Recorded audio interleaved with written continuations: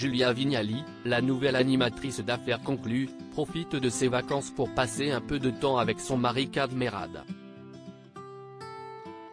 Elle a dévoilé le beau projet qu'elle partage avec lui sur son compte Instagram, ce jeudi 17 août. Et si est-il plutôt surprenant? Julia Vignali était, ces dernières semaines, au cœur du feuilleton du Mercato Télé qui a agité le petit monde des médias en fin de saison. Dans quelques jours, elle reprendra les rênes d'affaires conclues sur France 2, animée jusque-là par Sophie Davant. Un nouveau défi pour celle qui était auparavant en duo avec Thomas Soto dans Télématin. Mais avant, la femme de Cadmerade s'est offert une escapade avec son mari pour travailler ensemble sur un même projet. Une bonne nouvelle qu'elle a partagée avec ses fans sur Instagram ce jeudi 17 août. Chasser le naturel, Julia Vignali annonce son projet surprise avec son mari Cadmerade, loin de la télévision on ne l'attendait pas forcément sur ce terrain. Pourtant, si est bien sur un plateau de cinéma que Julia Vignali a passé du temps cette semaine. Photo à l'appui, la future animatrice d'affaires conclue a posté sur son compte Instagram deux clichés d'un tournage, apparemment situé au Mexique.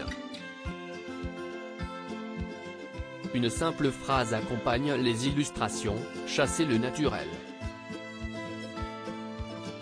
Quel plaisir de jouer le rôle d'une journaliste. En plein maquillage sur fond vert, elle s'apprête à tourner une scène.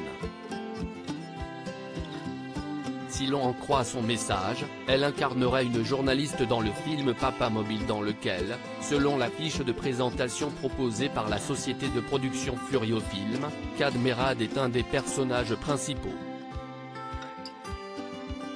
Le long métrage, dont on ne sait pour le moment que peu de choses est réalisé par l'auteur Sylvain Estibal à qui l'on doit déjà le cochon de Gaza.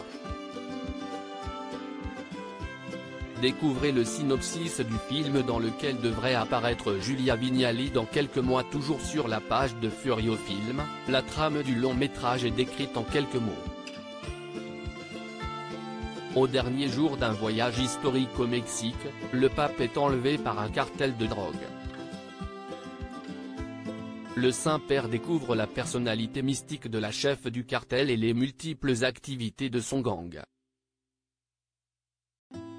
Mais bientôt la redoutable criminelle découvre qu'elle a enlevé un imposteur. Peut-on lire sur leur site internet?